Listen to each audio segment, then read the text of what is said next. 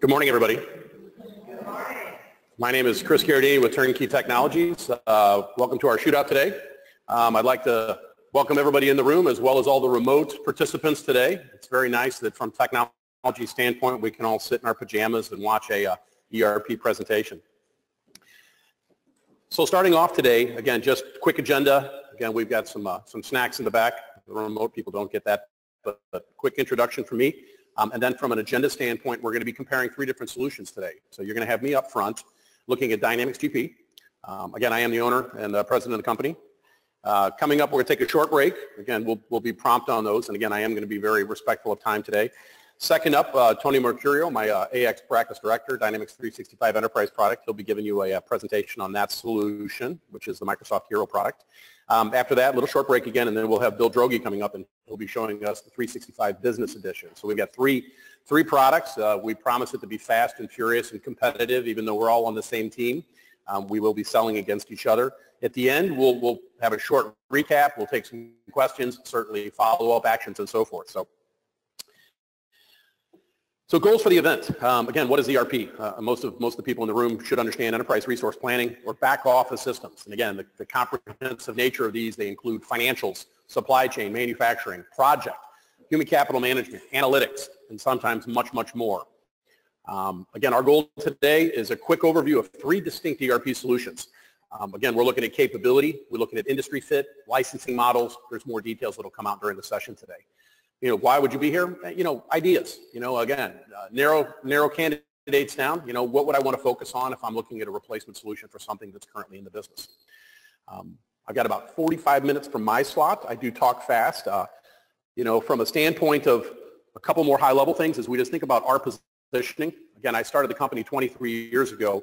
Um, today is this is a, a little snapshot from one of our pieces of collateral, but if you think about business consulting, consultative approach. Again, your trusted advisor and even agnostically looking at, you know, what are the business requirements? How do we make a decision on what solution that you're looking for? You know, we don't come in and say, oh, GP, oh, it's enterprise, oh, it's business. And so as we think about the process today and presentation and preview and what's my impressions of it and does it have the capability, does it have the fit and so forth. Post system selection, you can see that our firm really, we're an end-to-end service provider. Um, implementation, systems integration, we customize systems when required, cloud hosting, um, managed IT services, support training, uh, reporting and BI. Um, again, we have that lifelong service ambition in the organization. I've had clients on the books for 20 plus years. Uh, part of that is because of a service philosophy. Um, if you look at our summarized offering, and there's certainly a lot more content on our website, I use the slide for uh, my existing customers just to remind them of what we're doing. But uh, you know, today we represent the Microsoft Dynamics portfolio stack. And uh, the product that's not in there that you guys have is the SL product, but uh, GP, uh, 365 Enterprise, Business, certainly the CRM, the front office piece, which is sales, service, marketing, field service. Dynamics Talent has showed up in there also. If you think about industry partners, there's probably 50, you know, but as we pick line of business applications that, that actually connect to these systems, rental, service, supply chain, corporate performance management, many, many, many more. Um, we are a private cloud hosting partner. So we have a commercial data center in downtown St. Louis. Very specific, we host Dynamics GP. Dynamics GP is a through partner application, um, and we host that specifically. Um, we represent the cloud stack. So if you think about what's that mean, it's Azure, it's Office 365, and everything that's in there, Power BI, SharePoint. Um, that gives us that ability as a partner to really look at the organization holistically from end to end. We may be zeroed in on ERP, but as we take a step back, we want to make sure that, that everything is working together in your installation. Um, my coming soon, I laugh about that Salesforce uh, Intacct. I've actually already signed up with Intacct. Next, next time we do this, we'll run four products. We'll have three Dynamics products. We'll have Intacct in there. Um, a very interesting solution. We also plan on doing a CRM shootout between Dynamics CRM and Salesforce. So interesting stuff. Um, again, we already mentioned professional services. And I will stay on top. So Dynamics GP, um, I have been around this solution for 30 something years. So I've watched it grow up. Um, you know, in the early 80s, I was a, an engineering computer science student that spent about eight years in public accounting. And how did I get into an accounting firm? I helped a company buy Great Plains software from a guy, and this guy, I was such a smart whip, he'd call me and said, never mind. They brought me into the accounting firm. So here's an engineer in the early 80s doing ERP and CRM. So accounting and technology, I married him up 30 something years ago. But as far as GP, and as we talk about this solution, you know, it was privately held in the 70s, the 80s. Microsoft came into play in, uh, in 2001 and bought them. Um, it was the public company by then, But the product has been around for 32 years. And so, you know, if you think about the portfolio we're talking about, Dynamics GP is the oldest product, ERP product in Microsoft's Dynamics portfolio. SL's been in there. GP actually bought SL, so when they bought GP, they got SL as well. So that's just a little bit of history, but as you think about 32 years and two-year revolutions, there's a lot of evolution of this product. So what you see is completeness. You see robustness. Um, 2016 R2 is the current release. They'll have another release that's coming out. About every two years they do that. Um, close to 50,000 companies in the U.S. running this product. It's a very large customer community. There's local user groups, there's national user groups. Again, to that point, there's a very large partner ecosystem. I get hit by a bus, there's lots of people that can support the application. There's also lots of people in industry that have worked with the application. I have a partner that told me there's 17 million people that get paid out of GP payroll. That's amazing, 17 million. So quite an imprint as you think about the industry application there. Uh, again, maturity. Um, key solution details. Um, and again, my goal is this is not a PowerPoint for me today. I've got about three or four slides and we're going to do some live sessions. But if you think about, you know, full client, web client, HTML5 experience, cross-platform. So we can run it on iPads, iOSs, Androids, okay? Choice, lots of choice. Um, full users, limited users, self-service users, so there's tiered. There's client access licensing. We can buy it. We can own it, host it, put it on our systems. We can do subscription. So this is one of those products that on-premise is still a very thriving part of the business. But uh, hosting, we, we see about six or seven out of 10 of these things going into the cloud in a complete SaaS model where people are paying per user per month. They don't own anything, no platform. It's managed. All the updates are included.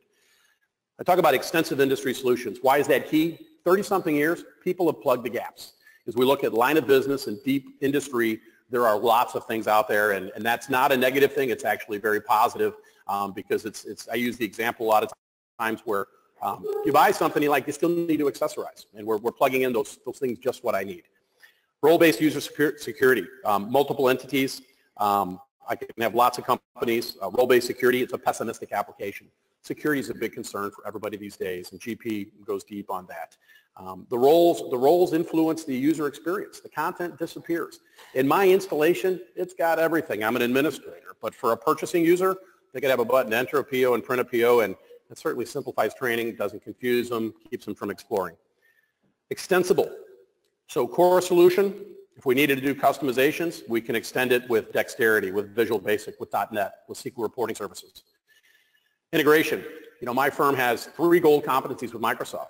ERP, CRM, and application integration. Hub spoke. GP is a great hub in organizations, whether you're running the line of business there or you're using it as a financial hub and we're integrating to line of business systems.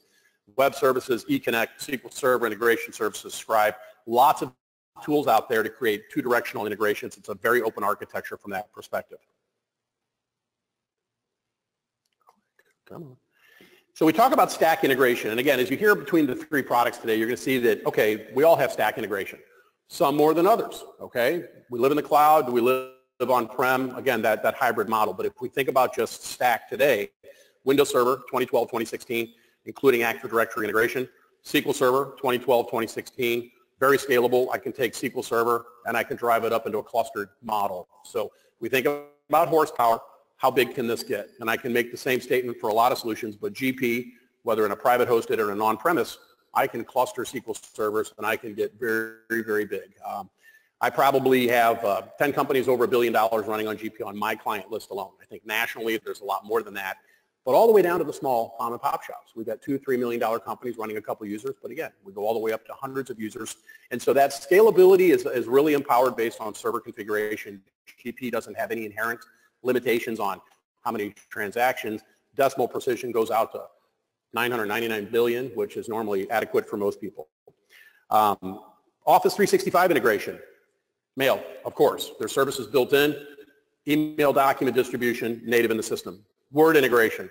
Microsoft built in a Word runtime into GP. Why is that important? Because we can generate PDFs without having to go get an Adobe license. That's kind of a neat little feature. So, you know, Google Shops, you know, it'll work with Google if you're, you know, Google Mail if you're using an Outlook client. But there are some limitations of not using a Microsoft Office stack with some of these solutions. Things don't light up the same way in a Google Mail client that they do in an Outlook client. Just be advised. Excel, Excel is a big part of the solution. Microsoft delivers connected, live data connections between Excel and the ERP system. What's that mean? It means my user experience doesn't have to be logged in doing transaction entry. I could be sitting in Excel doing pivot tables and so forth. Power BI, hot topic. How do I consume the information in my ERP? You'll find that in every solution that we're looking at today, I can have a Power BI experience, whether I'm consuming it on my mobile device, on my desktop, or embedded right within the application. So again, the full user, he's in the application, Power BI is embedded. I'm a light user. All I'm doing is consuming information, and I can be anywhere consuming through a Power BI. It's the same data set. SharePoint. Different degrees of SharePoint integration. For GP, it's workflow. Okay, I don't have to use SharePoint for workflow, but you know, workflow is baked into GP where I don't have to stand up a SharePoint platform to do workflow, but certainly it's extensible. It can connect to SharePoint. As we look at the other solutions, you'll see more SharePoint integration. We talk about Dynamics 365, aka Dynamics CRM, sales, service, marketing. Two-way integrations. There's, there's dropping off the shelf integration there. That's very robust, extensive. MapPoint, again, hey, where's my customer? If I'm doing route planning and stuff, those things are being integrated as well. Um, uh, come on, change. How come there's a little delay here, boss? Sorry, my slide's not changing. There we go. So this is a blurry slide, and I'm not going to go through every line item on this. On the memory stick that Brad is delivering you, there is a brochure on there that's the GP 2016 R2. This is a screenshot that comes from there. The reason I throw this up there is you think about all-inclusive. What did Microsoft include in a single license? Starter pack. So all that feature in the orange is all part of the core functionality. A financial stack, very rich. Supply chain stack, human capital management, business intelligence and analytics. It's everything a company needs to really use this thing that's even in the distribution business. Um, but like Microsoft, there's always more, and they have uh, an extended additive, and it takes us deep into distribution. It takes us deep and brings us into manufacturing. It takes us into a project subledger. It takes us deeper into field service and depot management. And then certainly there's integration tools and there's human capital management. These are all Microsoft OEM components. And again, as you want to read, the brochure on the memory stick goes deep on what's included in those. Um, industry solution examples, we talk about budgeting and forecasting. We sell a lot of corporate performance management, cloud-based budgeting, financials, line of business, analytics. It's a different experience. It kind of moves up above the core ERP, but we're addressing larger constituencies. Um, multi-entity management. I mentioned multi-entity. I can have lots of company databases, but we have orgs that, hey, we want to put 50 legal entities into a single model and managing them with security and do intra-company balancing so we can get much more sophisticated on the accounting there. Um, credit card processing, payment processing, online bill pay portals, uh, e-com and customer portals. These are plug-in. We don't go out there and have to build integrations. These are just, they're just accessories. EDI, warehouse management, shop floor data collection, shipping systems, job costing, equipment, field service. There's CRM again, collections, commissioning, container planning. I mean, again, how does this happen? We've got a core solution. What are your pain points? What are your line of business requirements? And these things are basically a la carte type accessories. So very large collection. I like to mention those. There we go. That's it for PowerPoint. So, so what I've chosen to show you guys today is a few different things. And, uh, you know, normally I start my presentation, so let's talk about the user interface and let's talk about what things look like. And this, let's jerk this thing out of here. This is the full GP client. And so if you think about it, it's a roles-based experience. And this is what we call the fat client, okay, which means I can install it on a workstation, I can install it on a terminal server, Citrix server, users log in, connect to this, whether they, whether they feel like they like this, but most people like the rich experience. And from a navigation standpoint, you can see that I have my actionable items up here, and these are, these are live business intelligence links where this is my workload, I'm in here processing and looking at how customers are dealing with credit limits. And what that does is it drives me down into a tool that's part of the system called a smart list. And so, you know, smart list is not just pretty, but it's actionable. There's lots of go-tos, which means I can drive through these things and get down to the customer master. And so maybe I need to make an action there. But you know, normally when I'm doing these scenarios, it's like, okay, well, what do I need to look at if this is my workload to decide? Maybe I need to go look at the customer's payment summary and I can say, okay, he's paying on an average of 30 days. Okay, what else do I need to decide to make a credit decision? You might say, well, he's at 80, 50. All right, well, he's a good customer. And if I want to come in here and say, well, I'm going to update his credit limit and I'm going to be nice and I'm going to make it 85,000. And, but I may come in and say, you know, there's a caveat that if he goes over 30 days by as much as a dollar, I want a warning. Okay, maybe, and, and that's one way to say, okay, I'll give him 85, he stays in his terms scope. But the, the point of this illustration is I've made an update to a customer and I come back and when I refresh, guess what? My workload disappears. So these are, these are prompts and if you think about, you know, how do we get people actionable and put them on task? Big emphasis throughout all of our systems is we want people to know what work needs to be done. Actionable business intelligence, okay? So there's one example. You can see other things here. I need to purchasing requisitions. This whole experience is configurable based on the user. So depending on your role, what work do you need to do, how do you do it efficiently, can I drill through? Um, other things about the user experience, I like to just talk about configuration. And if you look at these menus, they're big. There's a lot. We configure, we configure, we configure. This system has inherent workflow. It knows about quote to cash. It knows about procure to pay. We configure it, changes the user experience, changes your role, things disappear, things behave differently. Um, menus down the side, if you think about the concept of what we call navigation lists, this showed up years ago, um, but it was really the Microsoft Outlook 2007 navigation panes. And if you think about, oh, sales order transactions and and this is just a different look, but as we think about navigation and, you know, how do I process work and kind of this, and you could recognize these are the ribbons that showed up in Office, but, you know, conceptually, what am I doing? Well, when I select an order, I have work that can be done. Again, very configurable, but if you think about business process, okay, how do I, how do I manage that process from left to right? And I can change these things. So that my shipping guy, he knows what he's doing, and moreover, you see that there's favorites in here, okay? Well, it's not submitted, what's submitted, but very quickly we can get to workloads and we can filter.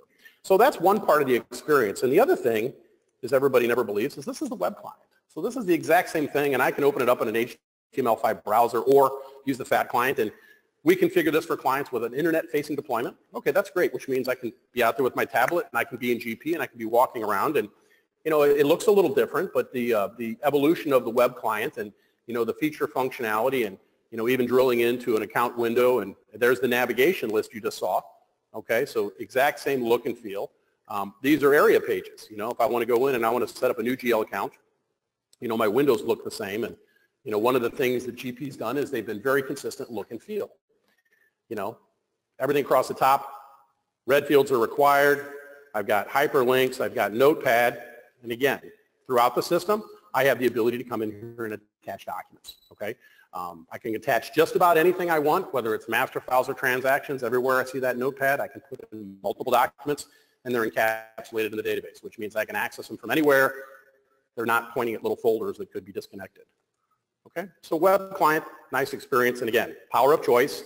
Now, as we think about user licensing, the self-service users, they only get the web client. A full user, you get all the assets in the system. A limited user is read-only. They can use the full client, they can use the web client, self service users, all they get is a web app. Time and expense, I'm doing requisitions, and I'm employee, I want to go change my W-4. Those are all based on a web experience for those users, okay? So again, a little bit on look and feel. So if I kind of step back and we talk a little bit about analytics, you know, what are the big impactful things? You know, we talk about where's the wow factor? this is a tool that I like to show. It's called Business Analyzer. And you think about it's in the App Store, so you can go out there and download this and play around with it. But this connects to our GP installation. And again, desktop, mobile device. But you know, why do I like this is because it kind of gives you a feel for the nature of the analytics that can be attached. And you know, if we think about technology behind the scenes, I talked about this smart list builder, which is a bunch of SQL views, okay? And if we think about this data, there's a full data warehouse that ships with the system too. Cubes, pivot tables, and so forth. But these examples, again, if I'm interactively playing with my data, okay, that's all great. But in Business Analyzer, what else shows up in here? Key performance indicators. And again, you can see that I'm logged in as the CFO. I also get my financial statements right here. So from a consumption standpoint, I don't have to be in the office. I've got my little tablet, I've got my business analyzer, and I've got a 360 view of the world through this experience, okay? So financials, and again, what else can I do here? I say, well, let's go in here and change. Where's my little link here? Come on, right here. Let's go change roles, and maybe now I'm the accounting manager. Different experience, different charts, different graphs. Hey, no financial statements. So um, lots change, multi-entity. I could change between companies. So business is, is just one component in the solution. Um, I mentioned Excel. So one of the things that I'm showing, and this is a list view. This is the smart list. It's the exact same data. It's real time. It's connected. I can interact. I can filter this. I can do lots of different stuff. Maybe I'm looking for line items for a specific, you know, inventory item. I'm outside the system. You know, one of the things I get with this, this experience is the refresh. I don't import and export, I refresh the data. Um, I've used examples where, well, this is AP analysis and this is the concept of a pivot table. So if we think about data warehousing in cubes, and these are leveraging SQL Server analysis services. Very powerful, very robust, and extensible. And as you think about the concept of a cube and whether you get to do pivot tables in your world today, um, dimensions and measures. And, you know, we've got lots of dimensions and we've got lots of measures such as accounts, could be segments, um, could be types of accounts, could be checkbooks, could be companies. So if I had 15 legal entities, they're all in the data warehouse together. I have the ability to look across multiple entities or one, but very quickly. If I had five receivable subledgers, I could see my AR right away, but yet they're all separate and so forth. So again, dimensions, measures, I played around with this. Um, I turned around and did one over here on a sales cube where, you know, what have I got? I got salesperson and items. It's like, okay, who's selling, which of my reps are selling what items? Can I trend that over three years? I could graph it, I could chart it. Um, and as we play around with this, you might say, well, how hard is this to work with? Let's just copy this guy. And let's come down here and let's just paste it in this sheet. And so what I was looking at is, well, I was looking at items. Let's get rid of items. And so real quick, now I'm just looking at rep sales. And if I drive down and let's get a different dimension, um, again, companies, I've got customer dimensions. Maybe I want to see what reps are selling to what customers. So let's go grab a customer dimension. And so now I'm looking at rep sales by customer. I can slice that and dice that. I can, you know, my world, I've got a pivot table, 20 tabs. I hit the refresh button and it all dials up. It's a great experience, okay? Part of the collection. Um, what else did we talk about? Talk about Power BI. Where's Power BI? Power BI. So I opened up my Office, and again, if you're not an Office 365 customer, here's what you end up with here. I've got a ton of apps. I launch my Power BI, basically, and I'm in here picking you know, different workspaces that are already connected to GP. And again, whether they're ERP workspaces, whether they're Microsoft CRM, this is a composite view. I don't care where the data's at. You don't care where the data's at because as an end user, you're not worried about the technical details. You're worried about the experience and how do I process the work that I need to be done. Hey, you want to refresh this? Yeah, go ahead and refresh it. But that concept of refreshing data is very important. And It's very time saving. So again, touching on key experiences, SmartList Builder, Business Analyzer, SQL Server Reports, Power BI, um, there are lots of different tools that people use to, to you know, rendering data and so forth. How are we doing? I think we're doing good. All right, so plan here, uh, quote to cash. I'm just going to walk through a couple transaction scenarios, and, and in my world, um, sales transaction entry, and I realized that not everybody's a distributor, and I said, okay, let's do a quote. So I've got the ability to start with a quote, convert it to an order, pick, pack, ship, fulfill it, so let's do a quote. I can type here, and we're going to go grab quote number autos. Let's get Aaron Fit. This is autocomplete, so they got a lot of neat stuff built in there. And let's do the shootout batch.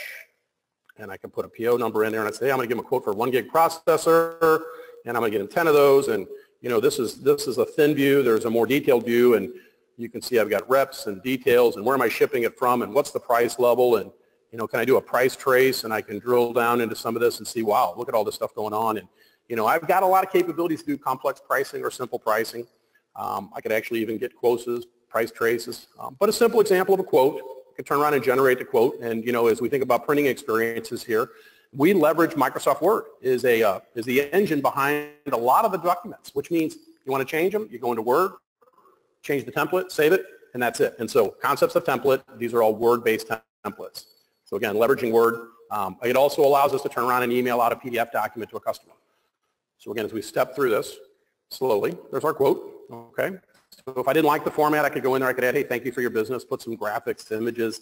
There are tools in there to upload logos, so they've made it very easy to use Word forms. And again, they've given you a very familiar place to customize the document. You don't have to get that comp sci guy in there. So, so there's the quote. So let's go grab that quote and guess what? And I've got ways to, to manage those and where are those quotes and is it expired? And so smart lists, we use smart lists to lift those exceptions. Give me the quotes expiring today.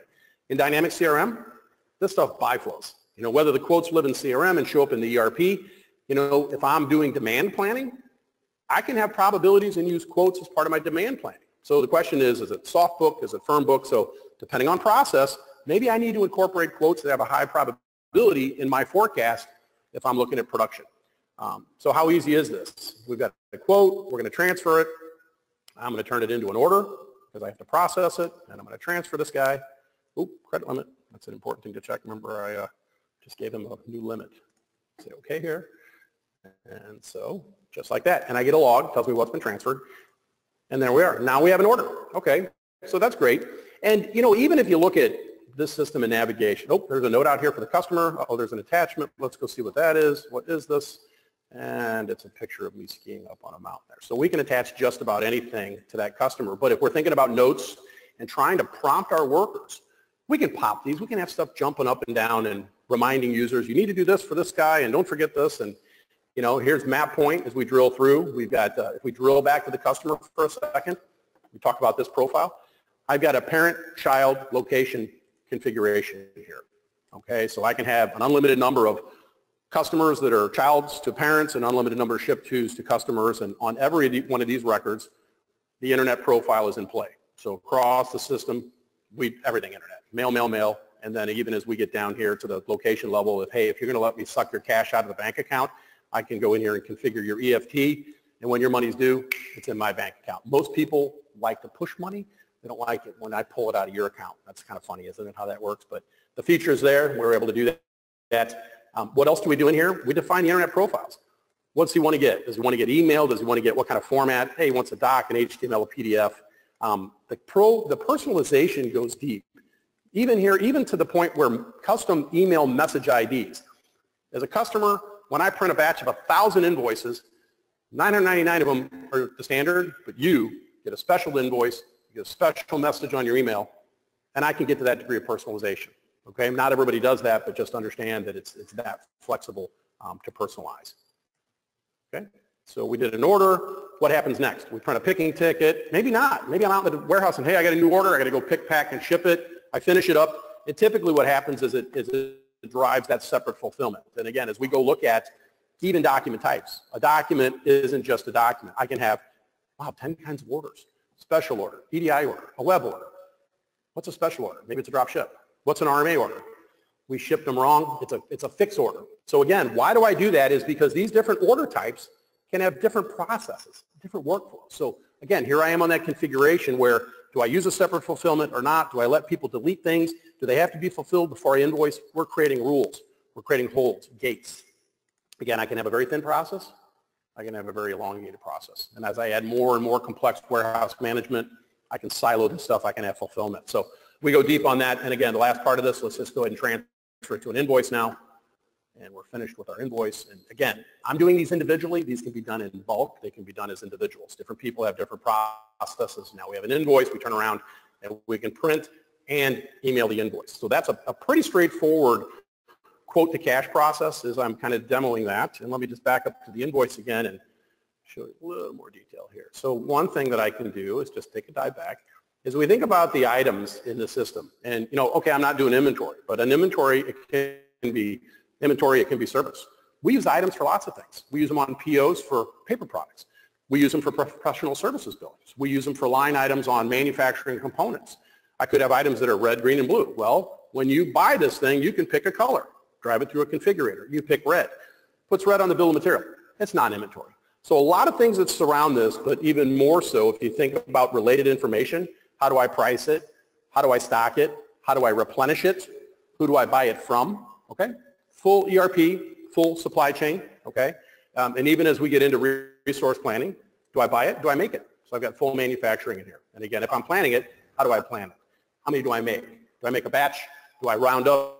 Do I round down? Do I use a vendor's economic order quantity? It's all those things that you'd expect to see in a full supply chain distribution model. Okay? So that was the quote to cash. Let's take the other side. Let's go look at purchasing.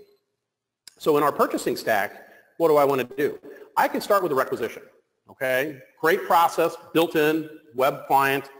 Hey, I need a new laptop, submit, workflow, approval, turns into a PO. Um, I also can come down here and say, hey, I'm, gonna, I'm just going to do a, a PO generator and see, without any filters, what do I need to buy? And based on settings, it's going to come down here and say, oh, well, you've got this product here, and this is the one that I was playing with. It said, well, you need to buy some of these, and you've got 19 available, and, you know, but there's some missing pieces, and, you know, who's the vendor, and so forth, and, you know, I can fill these things in and say, okay, great. Now I'm actually able to say, all right, let's do that, and let's generate a PO. And this is a very simple version, PO generator, mins and maxes, but some people, that's all they need to manage inventory. But I actually also have a much more robust MRP module in the system um, that allows us to take into consideration supply, demand, forecast, lead times, sub, sub, sub component demand and aggregate and roll up. So I can get go from simple to very complex. But let's see what that did. So let's go to POs. And let's go to the end here and let's see if it found it. And there's my one gig processor and actually had me order 50 cases of that product. So it created the PO for me. It's new. It's not on order. It's not released. How much process do I need? Submit, workflow. I had somebody the other day, I can't print the PO. It's not approved. That makes sense. You can't print it, you can't email it until somebody approves it. So absolutely can do separation of duties, okay? Or we've got one person that can fly through the process and they can come in here and print and email the PO and they're off to the races and then they can turn around and receive it. And let's just use an example of this. See what we get here. And this is a standard report. This isn't the Word form. I have the Word form also, but again, you're going to see that all of these reports are modifiable as well. So, okay, so if we go back, grab our PO, it is now released. So what does that mean? Well, if I go do an inquiry into inventory, and again, I can use menus to navigate, which they've been here forever. Let's go to this wonderful available to promise, and let's bring up our one gig proc. And let's see what we get here. Let's grab our warehouse. And so look at that. There's the PO I just created. And I get a pretty good view of the world in terms of what's on hand, what's allocated, available, free forward. If I've got pending receipts, that means they're in a batch. They haven't been posted. Maybe I've got demand from manufacturing components. Again, drill through. I can go back and drill back to this PO. Just that easy. I'm able to drive around. So there's the PO. And let's just chase it through the process. And knowing that from a menu standpoint, I've got separation where the dock guy gets a receiving window.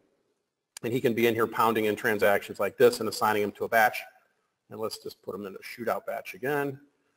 And again, depending on what the guy's role is, maybe he can't do this. And let's bring up advanced. And, you know, he's in there and there's actually an auto receive where I can see every PO that's out there. And, oh, there's the one I wanted. And, you know, can I short receive it? Absolutely. I don't have to. And even moreover, I can define tolerances on PO receipts. Is there an over? Is there an under? And so forth. So I'm going to receive this transaction. Um, one other thing that lives in here is it receives catch up.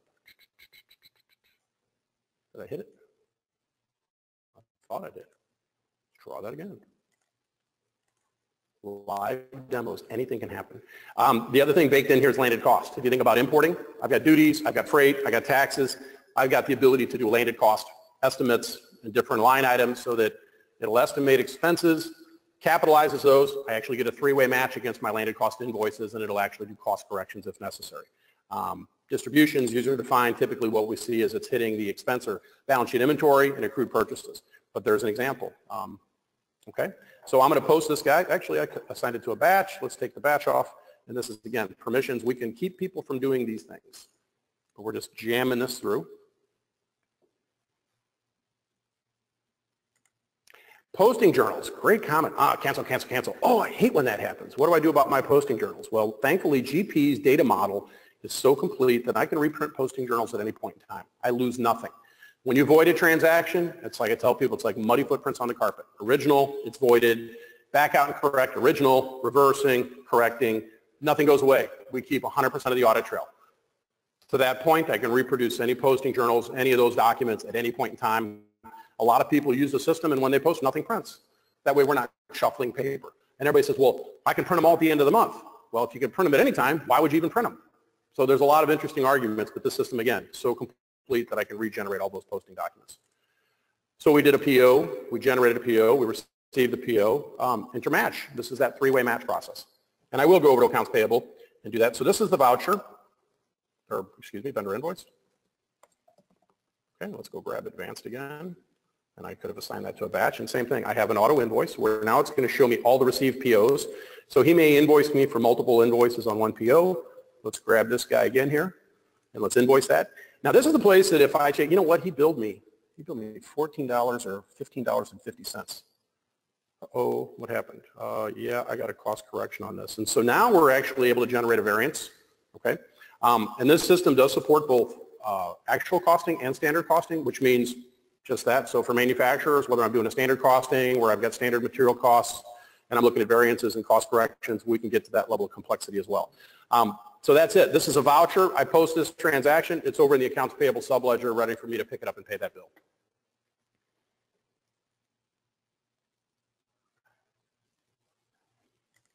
Same thing, lots of posting journals. Cancel, cancel, cancel, cancel, and cancel. Everybody drives everybody crazy. So, so that's a PO process, okay? Very elegant. Again, MRP, PO generator. Let's generate POs based on demand, reorder points. Let's release those POs, email them, print them, Receiving can be, again, via a mobile device in the warehouse. I could have a Zebra printer. I could be barcoding as I go. Three-way match, accounting's happy, and so forth. So let's say we're non-distributor. Accounts payable, okay? So as we think about just standard accounts payable, I'm just vouchering. I've got all the document types.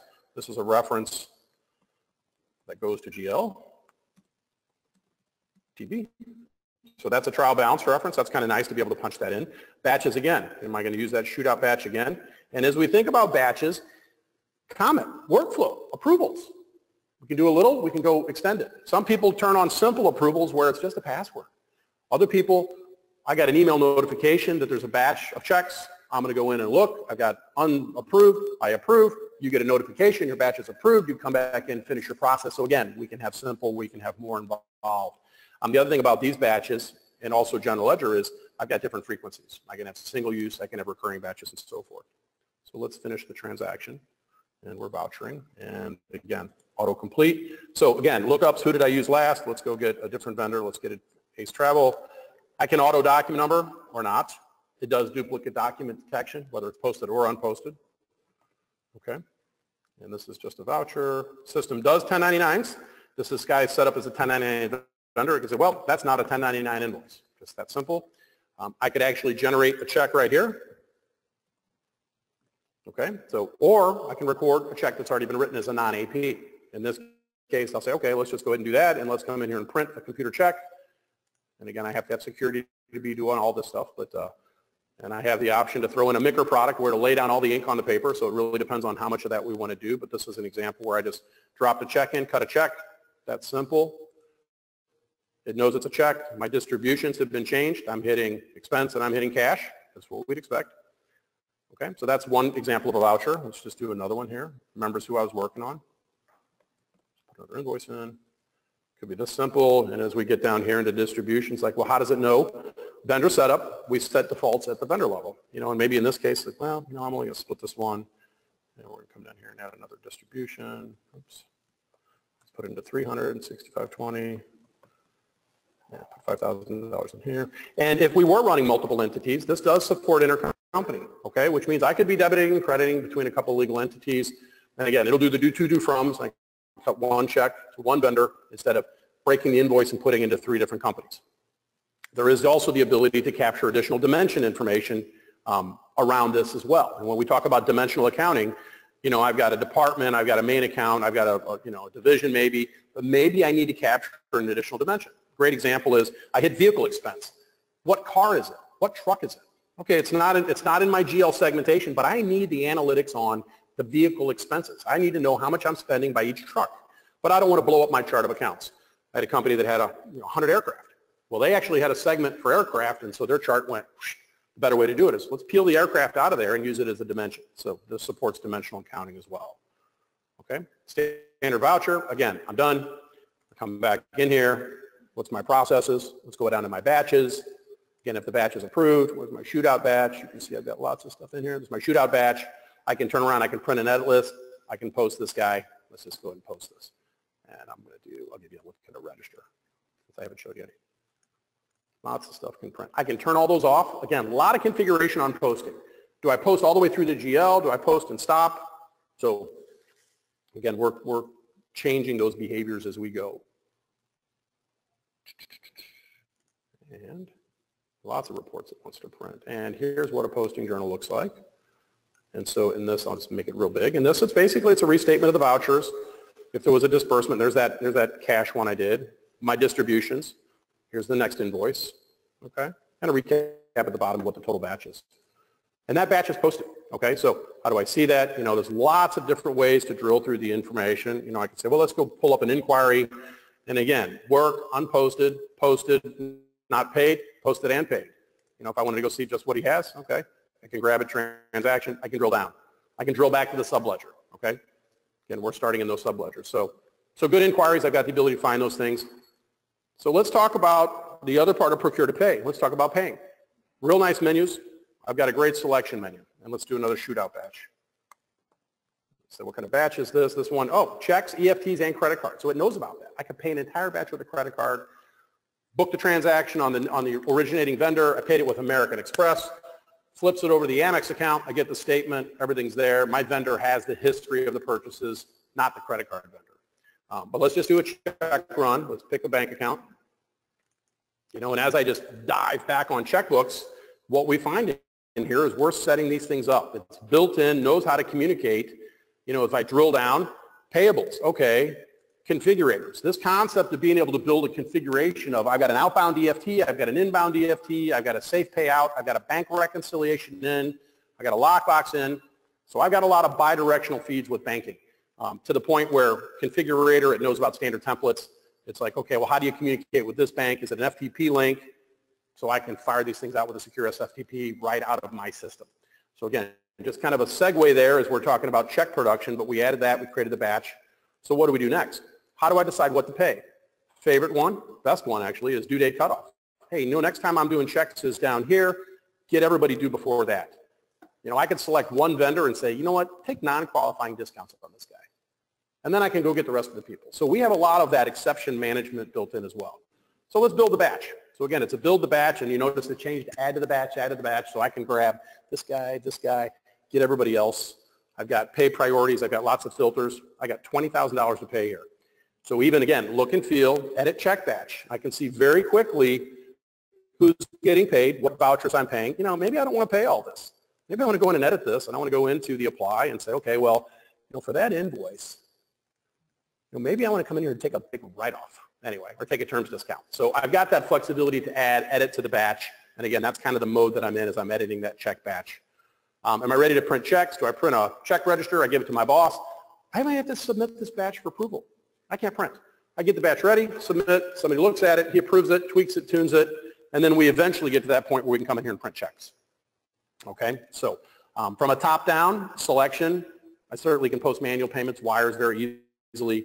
Um, but again, we select, we edit, we print, we post EFTs. I'm sending out remittance advice. What happens next? Hey, I'm generating my EFTs to the bank. Again, very top-down process. Okay. Um, certainly, there's aging reports everything date sensitive, as of, as of AP, as of AR, as of inventory stock status, as of everything. So I can use, if I'm reconciling to a point in time, I believe they've added the as of uninvoiced proceedings. That's where, what have I received but not been invoiced for? That's another balance sheet. So if you think about reconciling subledgers back to the GL, again, we've got all that covered. Okay, so that's your quote to cash. Um, and I'm touching on the major pillars. So projects and, and project subledgers. And so let's just talk about GP. And again, I'm going to show you we've got a contract. I've got a project. And as I get, and this is the hierarchy is really what I'm showing here. And I get down to a cost code. So I ran my business on this for 15 years. I'm a professional services org. Again, basically, what are we doing? We're defining cost categories. Is it material? Is it labor? Is it expense? And so as we go and we drive in and we're trying to premise our budget, and if I drill down deeper, and you know maybe I want to see the uh, you know, what's the allocation of this over time? And certainly, I can get pretty sophisticated this project ledger. I have big companies using this. Project accounting. It is nails on project accounting. It'll do fixed, it'll do T&M, it'll do revenue recognition. So again, there's a lot that this thing can do. Um, my biggest complaint was project management. You know, I couldn't get a Gantt, I couldn't tie down people to activities. And so again, from a project accounting, the accounting is rock star. There's no questions about what we can do there in terms of different methods and markup methods and so forth. But again, we're, it, we're shortcoming for me, and I switched off of this about three years ago to the product that Tony's going to show you um, because of that. So um, again, very strong project ledger. Uh, when people stand up GP, time and expense, if it's included, let's get everybody doing their timesheets and expense reports. Maybe we just use it for expense reports. There's a nice app. What do we do? I'm not a project shop, but I would set up projects for departments and airfare, hotel, meals, vehicle, and employees can book expenses against a project, and it knows how to drive the accounting down to the P&L. And it's a nice, elegant process. I put my expense report in, I can attach a picture, I hit submit, workflow approval, goes into payables, you get your check. And it works very, very well. And again, shortcomings, just as you've heard. What else? Navigation pane. A lot of stuff in here. I have got a ton of stuff in my install. I do my own demos. And why is that? So manufacturing. And so I led the manufacturing charge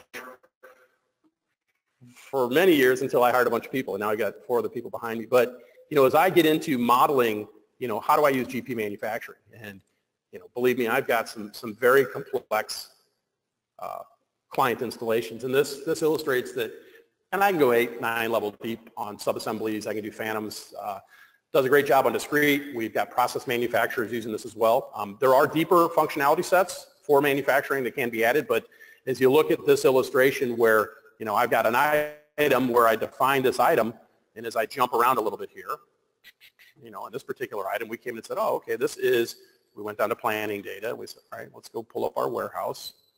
We are multi-site. Uh, it says it's a buy item. That's a problem, isn't it? so it's obviously got a bill of material. I go to the engineering data on this one. Ah, it says it's a make item. So even as you look at the configuration, I say I make the item. Well, how do I make the item? Do I make the stock? Do I make the order? Again, I can take a sales order, pops up a window.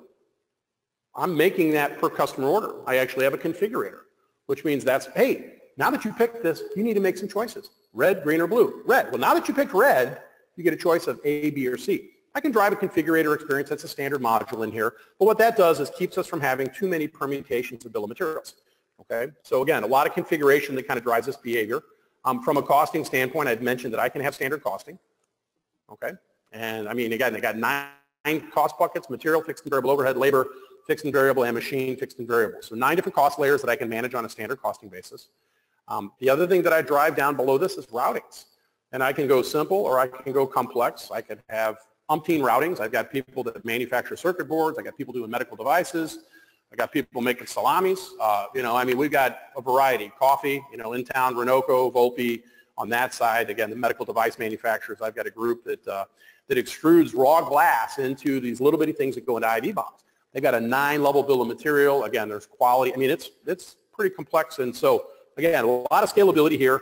Um, but even if you're driving, you know, simple, we can do standard labor. We can do standard machine. And what we're trying to do is reallocate these wages into cost of goods. And it changes the accounting equation where we're looking at, well, how much does it really cost me to make it? And a lot of people cost with materials only. So again, I talk about manufacturing um, all the way out to the shop floor. I could swipe in, I clocked into an operation, I clock out, how many pieces did you make, how much scrap, and again, all the transactions flow, and again, accounting. We've got a very robust accounting behind this thing. Um, back to back to that point, as we go back to uh, complexity, I jump to that item window. Oh, let's go back here for a second. I go back to the item a second, you're like, ooh, posting accounts. So one of the things that, you know, as we think about challenges companies have that, that are coming off of QuickBooks, it's accounting.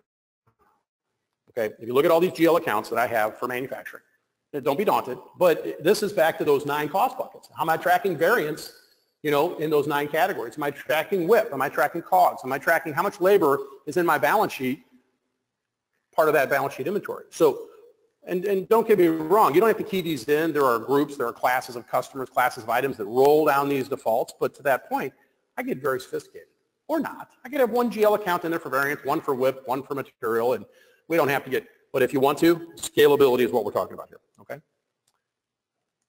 Brad, how many more minutes do I have? Like seven? that's fine. So I've hit a few key pillars. The and you know he's like, you didn't say anything about general ledger. I will talk about general ledger in a second here. Let me see if I get one more. Come on.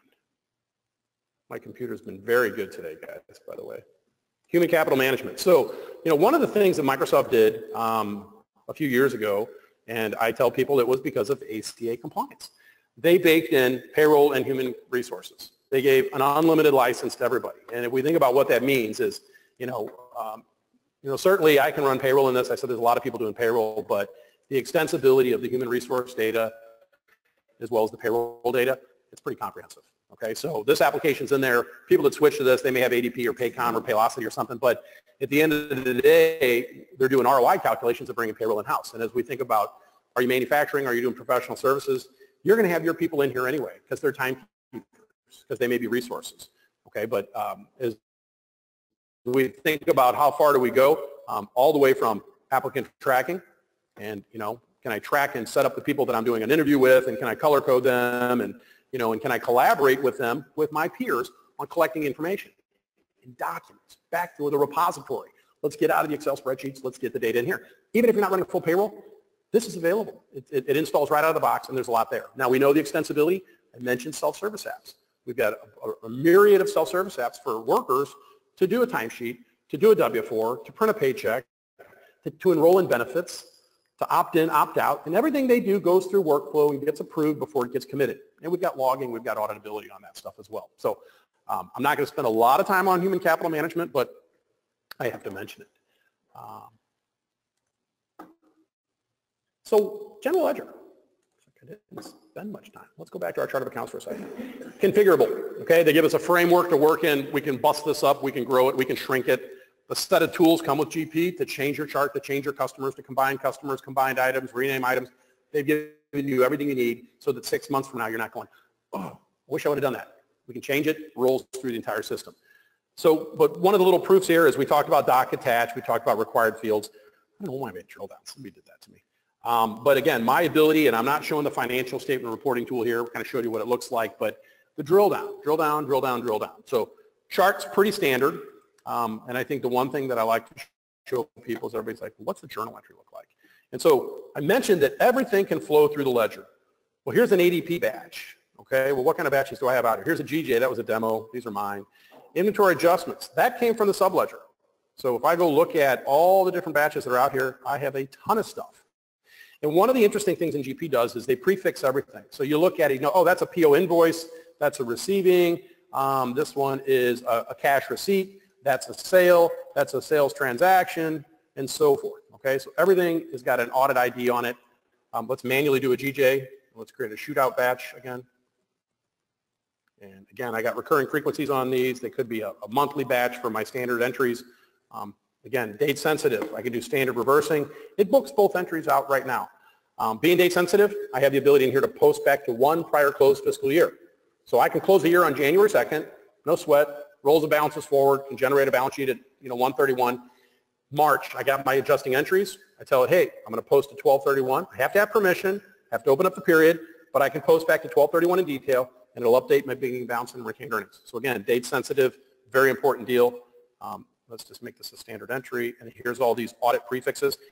I added ADP. Why? Because, you know, if I'm bringing data in from ADP, I'm not going to call it a GJ. Because if I want to go see what, what came from ADP, call it ADP. So again, even that extensibility, it's new. And again, that's just on that systems integration concept. So let's just say it is an ADP batch, and this is my reference, and I can key this in, and this is a journal entry.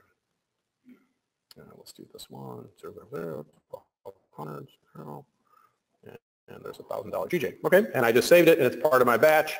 Um, the other nice thing that they've added, and I just had a little one, is I just, I can take a journal entry from an Excel sheet, and of course, Microsoft better have done this, and they finally did, and I can paste right from a GJ into here, and I still have to come back in and put my note. Okay, and so that is a, a, copy and paste. So why is that nice? I get that file from ADP, copy, paste it, I'm done. Do I need an integration tool? I could. Multiple GJs, systems integration from other line of business. We've got integration tools, but certainly the ease of use is very important. Um, about copy correct. Again, we don't lose any, any of that audit trail data.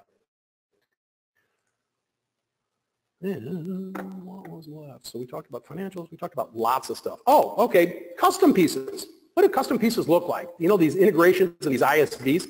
Let's do a, uh, let's do an invoice here. Let's just do this, my last piece for you guys, and then I'll shut up and you can ask me a couple questions while we change. And you guys can ask questions after today too, so let's just keep that in mind. So, so custom stuff. How do ISVs look in here? And I have so much stuff baked in. So let's, let's do a credit check. So I'm the guy that when we talk, I got core, what do I need to show you? And if you look at these additional, holy cow, is that list? It went away. Oh, there it is. That's a lot of stuff. That's not all standard GP stuff, but that's how stuff plugs in. It's trans. You don't even know. You don't know where it stops and starts. We're honest. We're transparent. Hey, these are plugins. Okay, where's it stop? Where it starts? That's not really the concern. But again, if you think about extensibility. Great example. So things that I plugged in here: collections management, I'm on the phone doing order. Wow, collections. Hey, you know what? While I've got you, and you're placing the order, you owe me some money. And there's a note out here, and I can collaborate, and I can look at unposted sales, unposted orders, unposted cash, total outstanding, available credit. I get a 360 view of the guy right now. That's collections.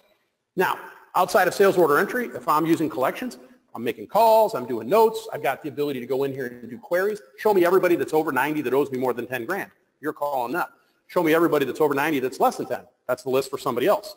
We can segment it. You're a collector, you're a collector. We're all working in our little queues. I can generate the aging report with the notes. It's all baked in. And again, a little bit of, a little bit of, you see, a little bit different. And again, great partner. These are people that are certified industry partners with Microsoft, but this is an example of collections and how nicely it fits in. What else is in here? I've got commissions in here. And this is pretty slick stuff too. Because as we think about commissioning and how do we do it, and this is kind of what shows up, and it's calculating a commission for this particular order.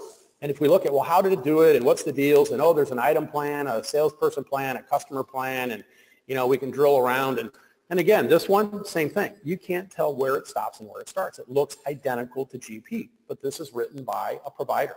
Now, GP has grown because Microsoft has bought that IP. If you're somebody and you wrote a product and you've got a thousand customers, I want your stuff. Let me bake it in. You've only got two customers, we'll let you manage it. Okay, but that's how GP has grown over time. They buy, they buy products, they buy IP, and they build it. Um, so again, really just look how seamless is it. Like I said, I have lots of stuff baked in, and I am actually going to stop there. So I think I covered everything I wanted to show you. Again, is a is a shootout and a capability like I said, there's a lot of information on the memory stick you can drill down. Um, I love GP. I'm still selling this. I'm selling it in the cloud. I'm selling it on premise. Um, why is it still so popular? And Microsoft's like, oh, they want him to succeed. But we've got 50,000 customers. And, you know, I don't even know how many hundreds of thousands of users. Strong application.